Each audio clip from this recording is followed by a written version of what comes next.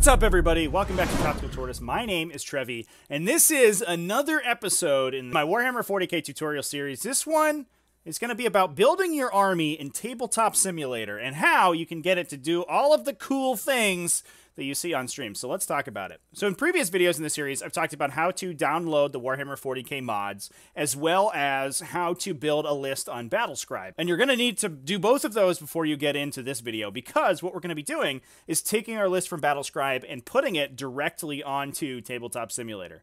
Now, what we're going to need to do this is an app on Tabletop Simulator called Battlescribe to TTS. I mean, it kind of does what it says on the tin. It takes Battlescribe and, and moves it to TTS. There's two ways you can get it. The first one, if you have downloaded the Battleforged mod catalog like we talked about previously, it is in the Tools folder right here in Maps, Tools, and Terrain. You can click on Tools, and here it is Battlescribe to TTS. You can load it right there. The other way is to find it on the Steam Workshop. So if we go to Browse and we look, uh, you can actually subscribe to it right here. And if you click on that, that will also bring you to the same mod. They do the same thing regardless of where you load it from. It doesn't really matter.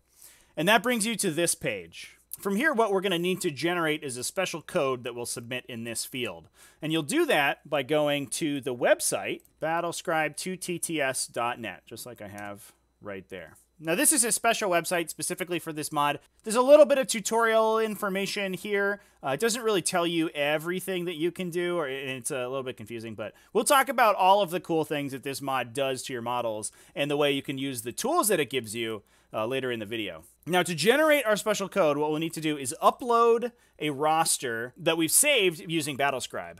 So I have all my rosters saved here in one folder so I can get them really easily. And let's grab the Space Wolves list that we made in the Battlescribe video. So this is a 1,000 point Space Wolves list. You upload it and you click OK, and it uh, generates you a code for your roster. Now all you're going to want to do is copy that and then paste it directly into the field right here. Now we're going to click Submit Code, and that brings up a list of all of the models in your army. So what it does is it essentially takes every profile from every one of your data sheets in Battlescribe and just pastes them right here. Now, what the mod needs us to do is associate a Battlescribe asset with the model that we're going to use on the table. So there's a couple ways to get at the models that you're you want to use. The easiest one I think is just to go into another uh, the file that you're looking for and save each of the models as an object. We talked about doing this in the installing 40k TTS video, and here is the tactical marine that we uh, that we saved there. He's got a multi melta, and you can just spawn him directly into this game from the saved objects menu. So that way, if you have a lot of units or models that you use pretty often, you can save those in a bundle and you can just spawn them every time you go to build an army. That's a pretty good way of doing it. The other way, which I also like to do, especially if I play a, a bunch of different factions, is you can go into each of the individual file sets here and you can expand them. So we, we want the Space Wolves one. So what we're going to do is click on the drop down menu here and click expand. Now what this is going to do is give us a list of every single model that is included in that file. So all we need to do here is look for the ones that we want. So we have a chaplain in our army. So let's look for a chaplain. Here we go. Here's a chaplain. We just have a foot chaplain. So we'll grab this guy. Boom. There's our chaplain. And we'll just go through and down the list and spawn every single model that we want.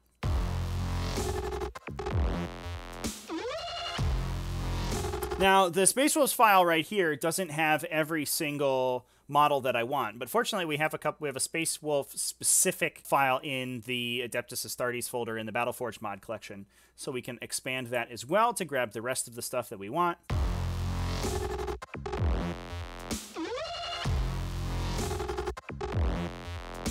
So here we have all of my models saved. Now I'm uh, cutting a couple corners here. Because the file that I have doesn't have Primaris models in it, I'm actually going to go ahead and proxy the Blade Guard veterans that we put in the list. And I have some Honor Guard models here that were included in the file, and we're going to convert them to be our Blade Guard veterans. So what we're just going to do is actually grab another handy tool from the mod pack. We're going to grab this base size chart so we can open it up and spawn it in. And this is something useful to do even if you just want to check your base size. And it has a scaled series of bases, so you can just make sure that all of your base sizes are correct. So what we're going to do is we're going to scale up these Honor Guard models to be our Blade Guard veterans. Now, there are some mods with some really nice uh, Blade Guard veteran models in them that you can use and and I'll have links to those in the new player resources over on the Discord. So if you want to join the Discord, there's a link down in the description, and you can go check that out. Uh, I'm gonna probably just start linking every uh, for,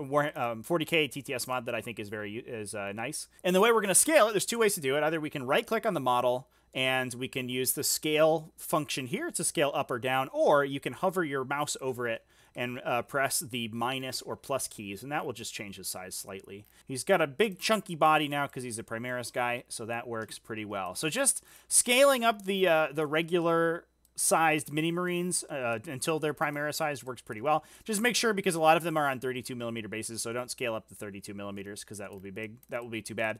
Um, but if you have the guys that are on the two small bases, like you can use them for Primaris characters pretty well. Now all we need to do is click on each of the units in turn in this chart here and click on the model that we want to use as that unit. So our chaplain is going to be this guy. Our captain is going to be this guy over here with the thunder hammer. This incursor is going to be this dude. Here's the incursor sergeant. We got blood claws and the pack leader, blade guard veterans. The sergeant will have a cape. Our big Wulfen Dreadnought. So once we've associated all of the profiles with our different models, each of the entries will turn purple after you do it correctly. So they're all going to be purple, and we're just going to go from there and click Create Army. So this usually takes a couple minutes. It lags a little bit when it does this. So here we go. Here's our Space Force army. Now the coolest things about Battlescribe to TTS are what it does to your profile. So as we can hover over here, the standard tooltips that the models have usually include some stats for them, but you can sort of ignore these. A lot of times they're older editions, so it doesn't really matter. But what Battlescribe to TTS does is it takes that tooltip and it puts in the datasheet directly from Battlescribe. So we can see here, our incursors have their bolt carbines listed, they have their paired combat blades listed, they have their bolt pistol, crack grenades, all that stuff. And even better, if we hover, over any of our models and we press on our number pad, so down in the right-hand side of your keyboard, we press number one, it will actually bring up essentially that model's entire data sheet. So we can see what all of their abilities do. We can see what their special subfaction abilities do. So we have Savage Fury listed there for our Space Wolf subfaction. And we can see what all of our weapon profiles look like. So this is an easy way both players can access this so you can reference your own rules and your opponent can use it to reference your rules as well. And for this reason, a lot of times Battle Battlescribe TTS is required for competitive play because it makes the, it just cleans up the game so much. It makes it easy to look at all of the equipment somebody has and what all the equipment does and you can just hover over them and see how many wounds you have. You can see there in the uh, 2 slash 2 means they have 2 out of 2 wounds remaining. And even better, it also adds some really cool hotkeys and tools onto your models that you can use during the game, which is super useful. Now, it's not a perfect mod. Unfortunately, uh, we can see that our, our Wulfen Dreadnought got duplicated here. That does happen sometimes, and sometimes it will add models to units, especially if you have a unit-wide upgrade. It will uh, read that as a separate data sheet. Uh, it's a little inconsistent, but just make sure that your list is correct. Just do a visual inspection. And we can just pull one of these guys out.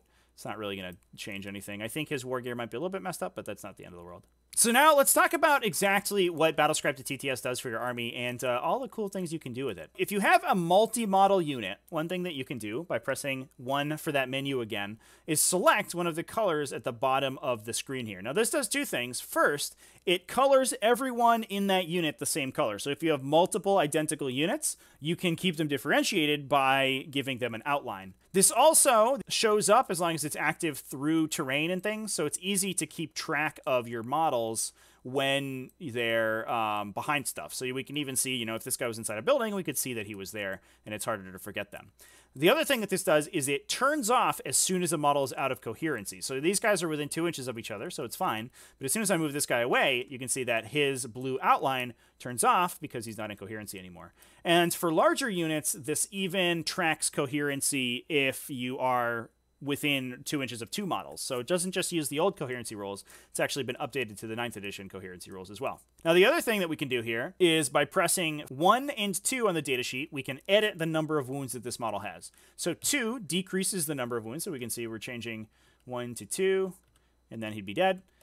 And three increases the number of wounds. So if for some reason we can get more than our starting value, we can increase it or decrease it with a hotkey. That makes it really easy to take damage and track damage on your models, and especially large models like a big dreadnought.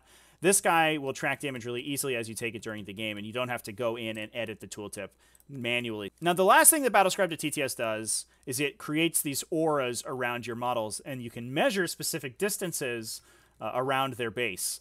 You do this by pressing the four or five keys on your number pad, four to increase the size of the aura, five to decrease the size of the aura while you're hovering over the model that you're trying to put the aura on. You can also change the color of the aura in the menu, just like we did with the highlight, by pressing 1 when hovering over the unit and clicking one of the colors down there. This is super useful, especially for deep striking. So as soon as somebody wants to deep strike, you can just make a big 9-inch aura around all the guys in front of your army so you can see exactly where you could push them. So I could put a deep striking unit right here, for example. This is also good for auras. So if I want to make sure that my models are in my captain's Rites of Battle aura, I can just put a circle around him and ensure that everyone's inside that circle, and then we're good to go. It measures the most accurately when you're in a top-down view perspective, and I'm going to talk about how to set your view perspectives and the differences between them in a future video. Well, unfortunately, we can't do a uh, highlight like we do it on the incursors on the character models. You need to have two, at least two models in the unit. We can change the color of his aura by changing the color on the, the menu here, and you just need to bump it one time to, to have it refresh and, and adopt that color. But you can have a color associated with each of your uh, different characters. So if we wanted to have the chaplain be I don't know yellow, then him and aura for all of his uh, his litanies. Now, if you do have a model with a weird base, sometimes the collider of the model, or essentially what is uh, me you're measuring off of when you measure to it, is a little bit different than their actual base size. The six and seven keys on your number pad to change the type of base that you're using. So you can see it looks like we're, we're trying to measure off a 25 millimeter base here for this Wulfen Dreadnought. That's clearly wrong. So we can use the 7 to cycle through a bunch of different base sizes and shapes. And now he's measuring correctly. That's especially good for bikers, especially like bikers with big bases. Sometimes their uh, their base collider is messed up and you can cycle through some good ones. In vehicles that don't really have an even shape, you can just pick the one that is closest to the vehicle's actual hull size, hull dimensions to uh, to measure an aura off of. Now, there's a couple things you should not do with Battlescribe to TTS if you're using it. The first one is delete models. Uh, in Tabletop Simulator, delete models by hovering over them and pressing the backspace key, and they'll just be gone forever. Unfortunately, the scripting for Battlescribe to TTS kind of messes up if you delete it, and it can really slow down and sometimes crash the game if you end up deleting models. So if you are using Battlescribe to TTS, do not delete your models. And also, try not to copy and paste your models. Unfortunately, what happens if you copy them, it can, in some circumstances, actually double your keystroke when you're trying to use those hotkeys. So if we, we copy this Wulfen Dreadnought over here, and now if I press 4 or 5 to increase or decrease its aura, it's actually going to measure 2 inches because it thinks that you're hitting it twice, even though you're only hitting it once. So that is uh, pretty unfortunate. So try not to copy and paste that stuff, and also try not to... Uh, to delete the models either. There's also a slight issue where if you start with a unit that's above five models and then you start losing them, obviously you're going to pull them out of coherency. So a lot of times that can break the coherency chain that, that they're measuring. And even if you get reduced below five models, it will often still measure you as a unit above five. So you'll just have to manually check coherency at that point. It won't uh, it won't really do it for you. Now a lot of people play off a laptop and they don't necessarily have a numpad to access these. So what you can do is you can actually change the uh, uh, keystroke input to uh, access all of the, the hotkeys that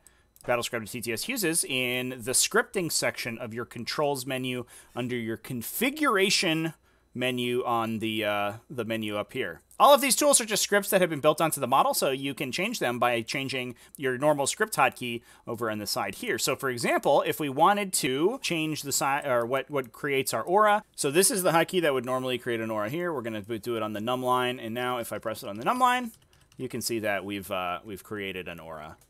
So you can just go ahead and, and change those inputs to wherever on your keyboard you want. But otherwise, Battlescribe to TTS is a super useful tool when playing Tabletop Simulator. It makes it really easy to reference people's statistics. It makes it really easy to show off your wounds and auras. It makes measuring and playing the game so much simpler. And it also just generates your army for you so you can make sure that you have, you know, the correct stuff with the correct war gear in all of your units and you don't have to keep track of it manually. It's a giant time saver. I highly recommend it. And most of the time it's uh, basically required to play.